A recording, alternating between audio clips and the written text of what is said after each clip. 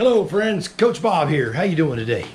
Today, a little more of a serious conversation. Today, we're going to talk about the wonders of healthy feet and why you should protect them while you ride. All you have to do is Google motorcycle accident and flip-flops and I guarantee you, you will see some of the most horrible pictures ever.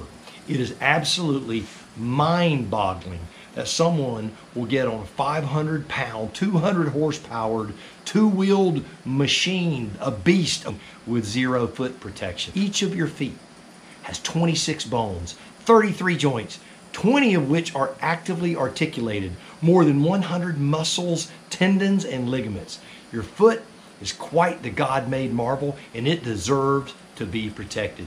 So, I guess the question is how do we define protection? Would that be Chuck Taylor's laced up tightly? Well, I guess if you're a nun riding around Stonehenge in the grass, ha, maybe. Or if you're wearing cowboy boots, I guess if you're riding tandem in MotoGP, might be acceptable. Or maybe you might want to wear a pair of those 1970s retro stacks. That is, you know, if you don't mind some bizarre flame throwing cell phone texting stranger to crush your feet. Well, I'm going to tell you, none of that sounds appealing to me. And I would actually recommend a pair of CE rated armored riding boots.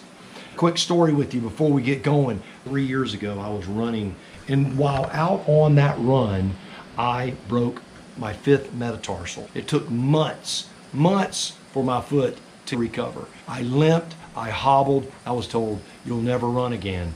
And guess what? I didn't think I would. I walked and I walked I would break out in a cold sweat walking a quarter of a mile. And my wife would go, You're Coach Bob. You're Superman. It shouldn't affect you. Why are you sweating so much? And I was in absolutely brutal pain, brutal pain. Nothing I did seemed to work. And I thought, I'm never going to get better.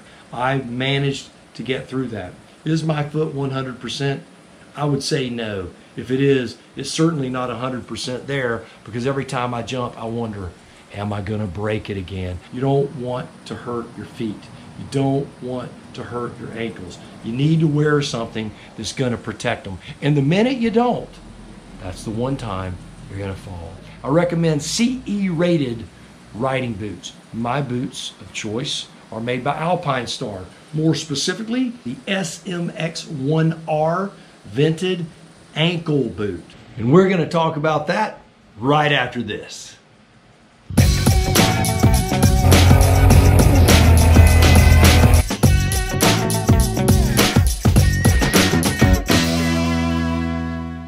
So the Alpinestars SMX1R low cut performance riding boot, they actually do have some real technical innovations, you know, for improved comfort, fit, durability, that kind of thing. I'm not going to tell you it's the best riding boot that's made. It's not. It's not designed to be. It's a daily riding shoe. It's something that you can put on and have a sense of security and know that you are going to be okay when you're out riding in it. And that is something that you really need, at least I need, that peace of mind. For those of us who are somewhat fashionably conscious, the SMX 1R low cut riding boot actually looks pretty good. At least, you know, I think so. It does perform well. I would call the SMX 1R vented version a four season boot in the state of Florida. Yeah, I know it, it's not a four season boot where you are up north, certainly not in most places in the world, but here it's a four season boot. It is a vented boot. So if you're up there, you're gonna get cold. The upper is a microfiber and TPU construction and this fancy synthetic material is actually superior to traditional leather and, and it's a lot cooler. So if you go for that occasional slide down the pavement, you might uh, actually save a couple of layers of skin. Synthetic suede around the leg where your foot goes into the boot, and it guarantees that there won't be any rough spots on the front and back of your leg. Also, the boot's anatomically cut with a nice little curve that allows you to, to move that foot forward or backwards without any hot spots developing. The inside is a mesh material and it breathes really nice. And It'll keep you from having them funky feet on those hot summer rides. The sole is one piece from the front all the way to the back. It grips up over the toe and all the way around to a cup on the heel. it has enough flex to where walking isn't miserable, but it doesn't really compromise stiffness that you need out of a good safety boot. So you may be thinking at this point, well, you really hadn't told me a whole lot that's different than, say, a Chuck Taylor. Is there more? Well, yeah, listen up, Buttercup, because there's a lot more. Across the top of your foot, you have a small piece of TPU that protects, well, it protects my fifth metatarsal, which is very important for me. The reinforced dual compound toe slider and the toe box provide great protection around the toe, and the toe slider is actually replaceable.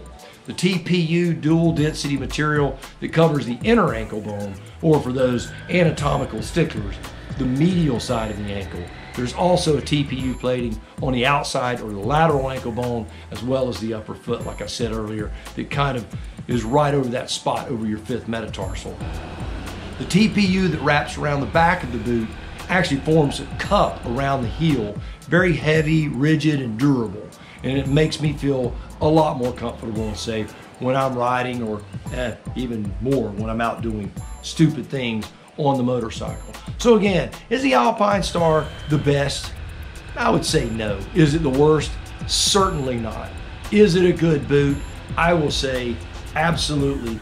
I recommend it without hesitation. I love it.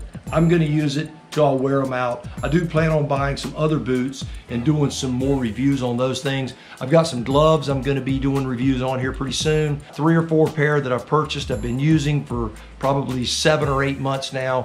I think they're gonna be pretty good. A couple of complaints about some of my Icon gloves, but we'll talk about that at a later time. So, hope to see you next time.